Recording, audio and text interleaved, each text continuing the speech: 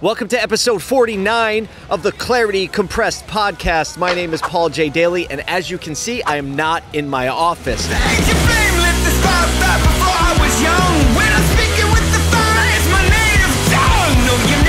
But instead, I just wrapped up a full day of the Agent 2021 conference where Gary Vaynerchuk and the VaynerMedia team put on an amazing event and we talked about business, all things business and marketing and branding and life. And as usual, I'm feeling energized and encouraged that I'm on the right path and the company, my company's on the right path and we're pushing our clients on the right path when it comes to this little thing called branding. And I say it a lot, and today was just another reiteration that I'm going to talk about brand, brand, brand, brand, brand, and brand. And there's confusion on what brand is, and people think brand's their logo, and we talk about it. It is not. And people think that it's a color scheme, and it is not.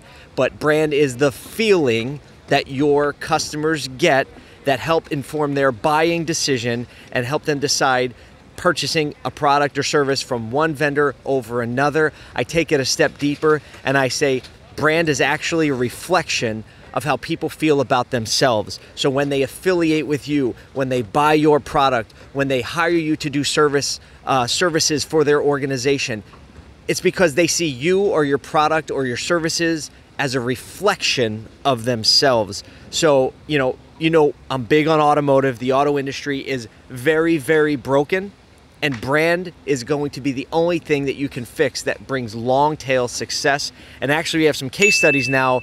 We have our first quarter of clean data, and it shows that brand first marketing makes advertising a lot cheaper. You have to invest to make the content and have the strategy, but a funny thing happens when you do that and you make content contextual to the audience that you want to speak to, and you're not just shouting prices and payments at them all the time the funny thing that happens is that people want to do business with you because they feel like they're understood and they feel that there's aligned values and they feel again that there's a little bit of a reflection of themselves in the way you do business. And what happens in businesses and in sales organizations sorry for the noise they're dismantling this whole set behind me but what happens in business and the auto industry and the real estate industry and anything that is sales driven and lead driven is that there's so much pressure to focus on the short term things, right? So we'll spend $10,000 and we'll make a video and we'll run some Facebook ads and they're brand centered. And if something doesn't change in three weeks or two months, we're like, boy, that was a waste of money. Let's stop doing that. Let's go back to cold calling right? It's just the good old standby. Let's go back to the old way. Why? Because obviously this new way doesn't work. But the problem is there's an addiction to the tactics of always focusing on the bottom of the funnel where the little sales lead falls out and the little in market shopper comes out and everyone has their M50s pointed at that in market shopper with all their bottom of the funnel activity and it's just a it's a bloodbath. It's a great analogy everyone's trying to snipe that that in market shopper at the very last minute. And maybe you'll win maybe you'll lose. And the second you stop spending a fortune of money to try to get that customer the second you stop right you're out of the game. Completely out of the game. So why would anyone or a company say well i don't want to leave my fate up to whether or not i can hack the algorithm enough to hijack that in-market shop in market shopper at that moment I don't know why anyone would want to leave their fate up to that. And how do you ensure that that doesn't happen? You invest in brand building and contextually telling your story and having a strategy so that your team also understands your brand, so that your customers can understand your brand. And that's what you're about. That's why you do business. That's understanding the feeling you want them to have when they see, feel, interact with, see on social media, walk into your store, buy one of your products, hear your name. What's the feeling that it invokes? So, when that is the case, and you're building brand, what you're doing is focusing on not making yourself vulnerable to the bottom of the funnel. Sorry, again, sorry for all the noise. People are just pushing dumpsters behind my microphone right now. So, not making yourself vulnerable to being sniped out at the last moment by putting all your time, energy, and attention into the bottom of the funnel activity. It's holistic living. It's like if you want lower blood pressure, you can do a couple things, right? And if you say you want to be healthy, well, It's easy to take the blood pressure medication. You just have to take this pill, and that pill will completely enable your unhealthy lifestyle to continue.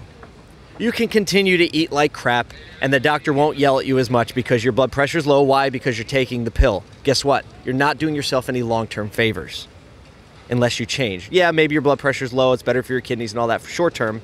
Long term, it's going to get worse again. Long term, your arteries aren't any healthier. So, what do you have to do if you want to get healthy? Well, you have to eat right, and you have to exercise, and you have to be stressless or be less stressed. And all those things combined, holistically, bring your blood pressure down. Oh, and a funny byproduct is all the other parts of your life are good too because you're healthy and that you feel good and you have energy.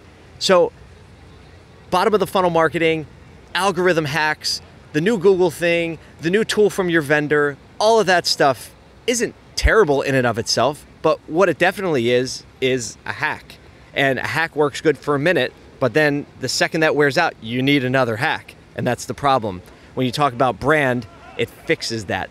Brand is the long term ROI. Brand is something that you will have tomorrow when a recession hits or when there's a downturn, guess what matters? And when you don't have money to spend on marketing, what happens? When you pull back all these levers, you oh we can't spend, we can't spend, we can't spend, but we're really starving for cash. Guess what? When you've already done the work to build brand, you still get customers. Not only that, you disproportionately conquest customers because you've already done the work. So as you can see, I'm really fired up. I'm going to keep it short. Um, and that's what I have to say about brand today. Just every turn every turn, everything Gary said, the things his team were saying, the things we were hearing from other industries. It's about brand. So that's the point of this podcast, episode 49 of the Clarity Compressed podcast, which was frankly launched just about a year ago after this event last year inspired me to create regular content so that the message can go forth and I can connect with the other people who believe. And guess what? I'm going to give you a little secret. I asked Gary, I said, so I had some time where I actually got to sit with him at dinner and it was awesome. And I said, hey, so I'm trying dealers, automotive, so pivoting back to automotive for a second, automotive dealers are really addicted to these tactics and I'm trying to, you know, show them the value of this brand-based marketing. I'm trying to do that. And he was just like, and we'll probably plug the clip in right here. He's like, Stop selling unsellable people. Mm-hmm. You know I believe in that shit. Mm-hmm. I have no interest in convincing anybody in this room about everything I just said. And I was like, that's a really good point. So the people, the old school, right, to bring them from 10 to 100 is not going to happen. So with this podcast and the relationships and the, the progressive dealers and the progressive business owners who are paying attention to how you win in a 2019 world, right? Those people are already at like 80 or 85 and they already have an inkling it's the right thing to do. So I realized like the purpose of all this is to bring the people that are from 85 to 100 to start make positive motion in brand building in their organization. So I hope this podcast inspires you to do that today. Um, whether you're an auto dealer or you're a not-for-profit organization, it's the same principles, the same ones. In a relationship, it's the same principles, right? You can do something nice. You can buy your wife flowers, right? Oh, that's a hack right? It doesn't work every time. It'll work once, and then the second time, not so much, right? What's the real solution? Well, let's communicate.